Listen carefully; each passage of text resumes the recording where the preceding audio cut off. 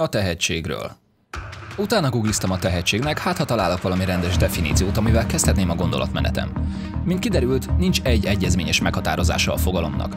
Többféle irányból közelítik meg, és minden irányban ezerféle vita van, hogy most akkor mégis mi ez.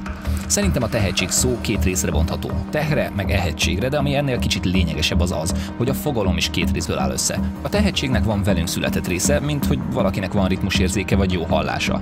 Ehhez társul a seggelés. Vágod, a készségek fejlesztése. Az nem elég, ha jó a ritmusérzéked. Ahhoz, hogy zenére tudj vágni, szükséged lesz némi zenei, vágási ismeretre, meg egy nagy adag kreativitásra. Senki nem születik vágó program elé. Pár másodperces gondolkodás alapján létrehoztam a saját definíciómat. Tehetség. Est tehetség. Főnév.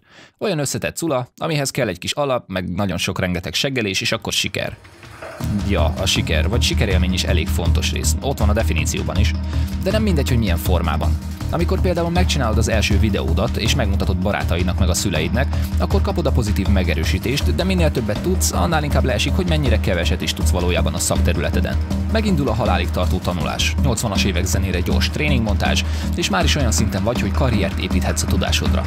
Alternatív úton éveken keresztül szépen lassan tanulsz, más és saját hibáidból, mire ide jutsz. De a montázsos út rövidebb, de nem létezik, úgyhogy ajánlom a másodikat. Ameddig a többiek otthon ülnek és chipset zabálnak, addig te otthon ülsz, chipset zabálsz, és véresre nézed a tutoriálokat.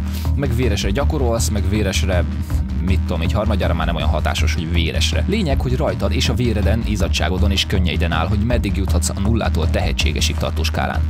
Csak arra vigyázz, hogy ne legyen nagy a pof az arcod, légy alázatos, szerény, de tudd, hogy mire vagy képes és mennyit érsz. Nem szentírás, amit mondtam, csak egy álláspont, de a hivatalos definíció az enyém, úgyhogy eh, ha egy tanulságot le lehet vonni ebből a videóból, akkor azt vond le.